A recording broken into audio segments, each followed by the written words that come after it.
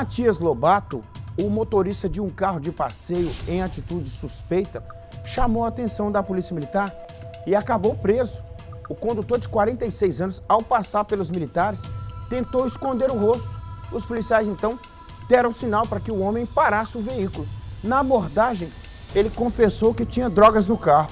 O suspeito disse que recebeu mil reais para fazer o transporte de governador Valadares para Nanuque. O tenente André Alves, meu amigo André Alves, ele participou da ocorrência e vai contar detalhes para a gente aqui. Eu busquei informações desse indivíduo na cidade de Nanuque com alguns, alguns companheiros nossos e eles nos disseram lá que haviam algumas denúncias que esse indivíduo estaria traficando drogas, né? Mas ainda não teria é, nenhuma prisão dele lá. As operações continuam, sexto batalhão é um batalhão que não para, né? Nós estamos aí fazendo operações constantemente e o resultado está chegando, né? A população tem nos ajudado, o resultado está chegando.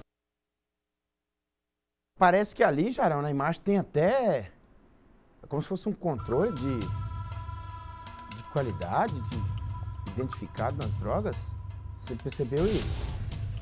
É, especialmente naquele, naquele recipiente branco lá, olha lá.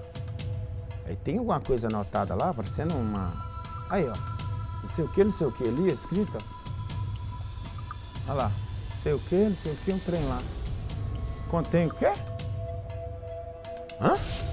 Que com a cruz credo. É.